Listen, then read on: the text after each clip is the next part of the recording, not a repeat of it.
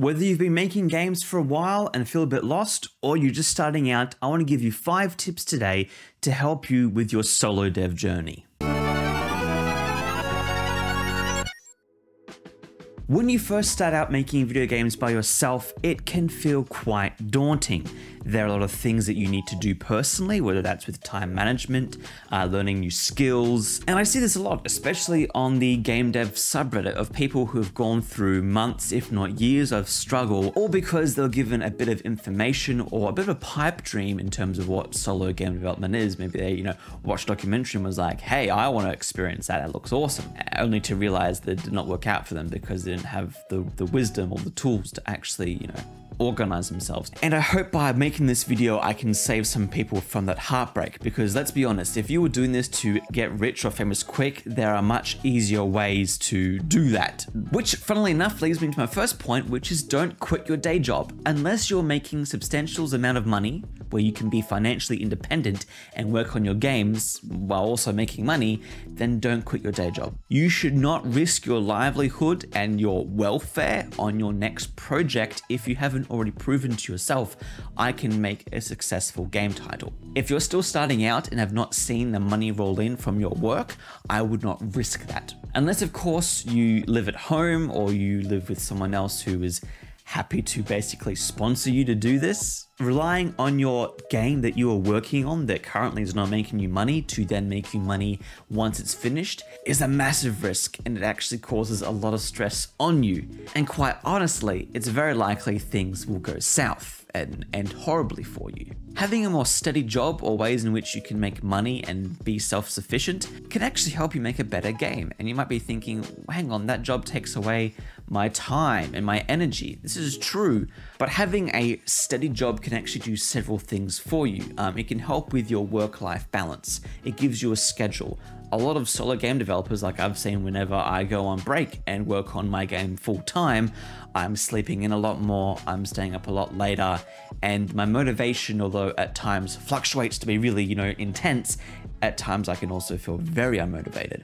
My most productive times, I believe, have been when I've been working part-time as well as working on my game. And I had a schedule of, okay, I work kind of like a nine to five on several days, and then I have like a day off in which I want to get all my things done on time. And because it feels like it's taking time and energy away from my game project, when I actually do get around to sitting down working on my game, you better believe I am being as productive as I can be with the slotted time. Where when you have, for example, two years of whenever you want to work in your game, you can become a little bit slothful, a little bit lazy, or just unmotivated. And having a job at least helps with the thoughts in the back of your head going, okay, at least I still have some sort of consistency and a fallback plan. You know, if this game doesn't sell a million dollars, I will still have a salary for the week ahead. And another thing people really don't consider is, you know, even though you got these savings to live off of, how much of that is allocated to buying things like software or assets or courses that you might need for stuff, or even hiring help for some cases. I know for me personally, music is not my forte, and so paying someone else to make music for me is a much better decision than me trying to do it myself. And by having a job, I actually have some some petty cash to spend on my game. And so that's my first piece of advice. Don't quit your day job, and if you can, have a side hustle or something that's actually making you money that you can then have a structure around and also use some of that money potentially to help your game project. Now, this is said in basically every video ever about wanting to accomplish something that's hard to do. Setting goals is extremely important, um, but I think it's also important to make sure that these goals are set by you and that you are following them consistently. If you give yourself the goal of wanting to finish a game project in six months, and so you're going to work on it every two hours a day, if you miss a day, that is okay. Being consistent doesn't mean being perfect. Being consistent means that you're not falling into bad habits. Things will come up, things will occur. You can work around them. But the most important thing to do is after three weeks, if you still haven't worked on your project, is either to reevaluate your goals or to look at your habits and think, okay, how can I be more consistent in this goal setting? Maybe you need to reshape those goals or change your environment to better accomplish them. Now, there are bajillion videos and lectures on goal setting, um, SMART goals, especially one of them you haven't checked it out. You should just understand what SMART goals are. I'm not going to go into that in this video because most people can just find that on the internet. But the one thing I do want to stress is that I don't think you should overshare your goals. Of course, my family and friends know that I'm working on a game, and they ask me all the time, hey, when are you going to be finished? When is it releasing? All this sort of stuff. And whenever you share these goals, scientists have actually proven this, when you tell someone, I'm releasing a game uh, next spring, dopamine hits your brain and you go, oh, I've released a game next spring. And then therefore that that dopamine tease that you usually get is no longer there anymore because you've already told someone and go, wow, spring, that's, oh man, mm, good, good job. You haven't even started the project yet, but you've already got the dopamine hit, which makes it a lot harder than when you're working on the project to get it done by next spring. And so it is important to, I think, share goals with maybe colleagues or loved ones nearby who can keep you accountable for things. Like if you say, okay, I want to work on my game every single night, if you can share that with them and then they're making you accountable for hey, you're playing video games or watching a movie with me instead of actually, you know, working your project, you should be doing that instead. That's really good to do. But don't scream out to the world, I'm making my dream video game when it hasn't been finished yet because you're gonna, you're not gonna accomplish it. I've found personally that I'm hitting my deadlines a lot better when I share them after I've accomplished them. And I'm not saying you should be secretive or keeping them all, you know, hidden away, but don't overshare and don't boast because it's actually gonna hurt you and your project. Which now leads me into pacing yourself. You're going to be doing a lot of hard work because that is what game development is, whether you're doing it by yourself or in a group. And the most important thing that you need to do when you're working by yourself is to listen to your body. If you're up at 3 a.m. with bags under your eyes, your hands shaking from all the Red Bull you've had, your body's telling you, hey, this isn't good. And you know what? If you keep this up for a year, you're going to be in bad situations. There have been countless experiences of game developers who have been overworked at businesses and ended up in the ER and now have lifelong health problems because they just weren't listening to their body. In some cases, their bosses weren't listening to them either. But the most important thing for you to do is to listen to your body. And that usually means sleeping, eating properly, and uh, hydration but do not try to crunch and don't have unhealthy working habits because that's going to burn you out and your project is going to be another unfinished one because you just didn't give yourself healthy working habits. It's also uh, important to have a social life. See your friends and your family, whether that's, you know, talking to them on Discord and playing games. Going outside is important. I like to go to the beach personally, but whether it's, you know, going to the forest, going to the city, going on walks around the park, just getting outside can actually help you so much. And here's the thing with with all of this. We as humans need social interaction to function just as much as we need uh, food and drink and shelter and sleep. Going outside, having social interactions, being active gives you a healthy body. And by having a healthy body means you have a healthy mind, which means it's better for you to actually make your game. By you staying inside, by you not talking with people, and by you pigeoning yourself into this I'm a game developer, therefore all I do is make games, is actually causing you a lot of damage, both to yourself personally and to your game project. Some of the most successful people that I know in the games industry are ones who have a social life, the ones who actually go out and talk. That doesn't mean they don't hit the grindstone and actually work on their project, but by doing these other things, it actually makes them more effective people. That is why, that is why I have weights at my desk because when I am sitting here for like hours on end, there is no blood flow going towards my head. I need to use these to increase blood flow because it's healthy. When you increase your heart rate, your brain's more active, which then makes you more artistically and logically inclined. And it's the exact same for social interaction as well. Because, and here's something developers forget if you want to publish your game or if you want to show your game at a, a, game convention, you need to have social skills to talk to people, to sell them on your ideas.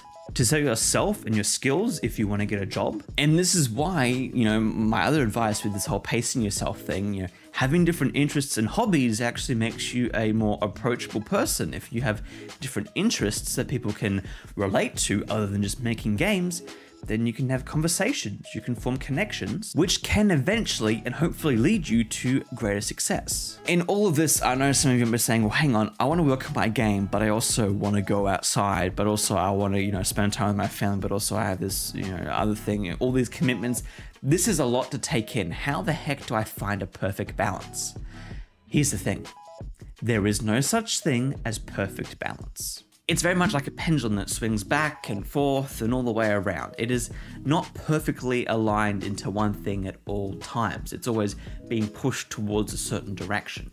And it's your job to look at it and go, okay, I need to spend more time on my game, less time on my game, and trying to strike a more balanced lifestyle. Not a perfect one, but you know, that's all what life is about, trying to balance things. And this is where I want to head on to my next point about playing by your strengths. First and foremost, please just don't overscope.